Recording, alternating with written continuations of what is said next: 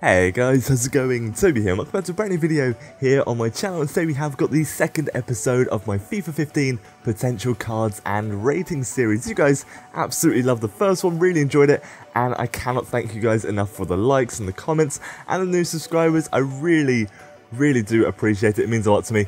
And if you want to leave any more suggestions of who I should do next, leave them down in the comment section below. YouTube comments are always a little bit buggy, so I may have missed your comment last time, but before we do get started, if you're looking for a place to get some coins, check the link in the description for the fifashop.co.uk, a really awesome website, and if you use the code TOBY10, you do in fact get a discount off your order, which is always really good. So the first card we're going to predict for FIFA 15 is Neymar, and he's got an 84 rated striker card on FIFA 14 with 90 pace, 80 shooting, and 92 dribbling, but I genuinely think that's going to get an upgrade. It's already been upgraded to an 85 on head-to-head, -head, and I think he deserves an 86. I honestly think he's a very good player. 26 games, 9 goals, 10 assists, but stats don't always mean everything. I honestly think he's a really, really good player. He's had 84% pass accuracy, genuinely really good, and I do think he's going to be a left wing. He's played left wing in a 4-3-3, I believe,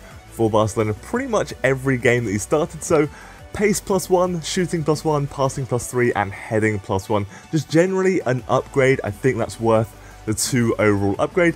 Then we're going to move on to Falcao, 90 rated striker on the game at the moment with 78 pace, 86 shooting, and 81 dribbling. Now, he has been out injured for pretty much the second half of the season. I think he had ligament surgery and it caused him to be out for the second half of the season, which is fair enough. So we can't be too harsh on Falcao. 17 games, 9 goals, 0 assists, but the guy is still an absolute machine in my opinion, but I do think he deserves a downgrade to 89. It has already happened on head-to-head. -head. I'm going to drop his pace by minus 1, shooting by minus 1. I'm going to up his passing by plus 1, simply because I genuinely think his passing should be higher. So in the games that he played, he had an 85% pass accuracy. That doesn't deserve a 62 passing overall, so I'm upping that. I think it's pretty fair, and it kind of balances the changes that I've made. I'm giving back his 5-star weak foot as well. I don't know why they took it away in the first place. It would be awesome to have it back, and I think it's going to be a good card. So let's move on to the final one.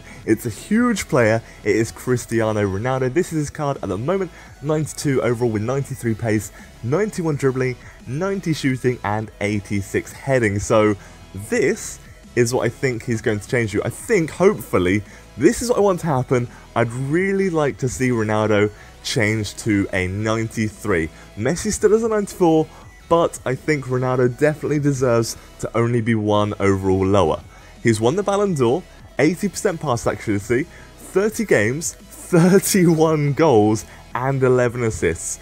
I wouldn't change anything else. I'm going to change his actual stats, shooting plus 1, passing plus 1 and dribbling plus 1, but his other stats they can stay exactly how they are, I think they make sense completely.